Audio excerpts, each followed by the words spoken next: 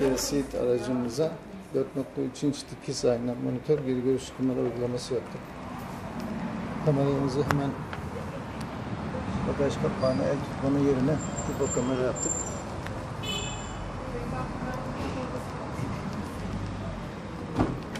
Ayna kendi orijinal aynasının üzerine geçmedi. 4.3 inç. Normalde bir ayna. Geriye taktığımız anda net bir görüntü alıyoruz. Tertemiz pırıl pırıl. Gayet güzel bir uygulama oldu. Güle güle kullansınlar. Bu tür uygulamaların satış montajını yapıyoruz.